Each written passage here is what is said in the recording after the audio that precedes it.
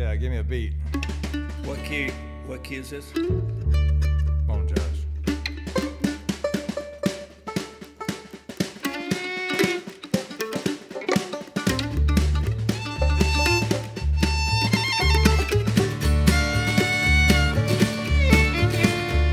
Well, many years ago, I was five or six years old.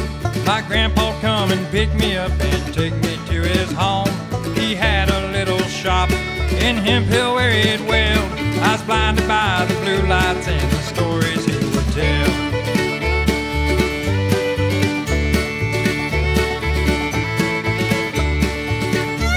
My Uncle John's the oldest of his two boys.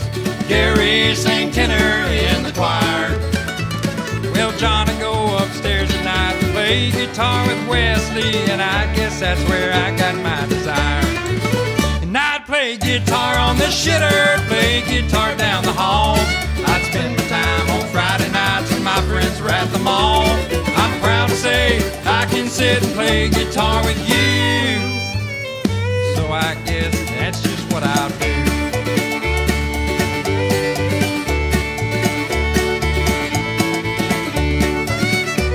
My mama had two sisters, three boys of her own. There I was stuck, the youngest one. My brother Keith's the oldest, and Brian was in the middle. He's the one that taught me to have fun. We'd smoke cigarettes on Saturdays at the wrecking yard. That's the first job that I had to buy my first pawn shop guitar. We'd steal a beer from Mama when she would go outside. We'd run it up the stairs because that's where we would hide. Play guitar on the shitter, play guitar down the halls. I'd spend my time on Friday nights when my friends were at the mall. I'm proud to say I can sit and play guitar with you. So I guess that's just what I do.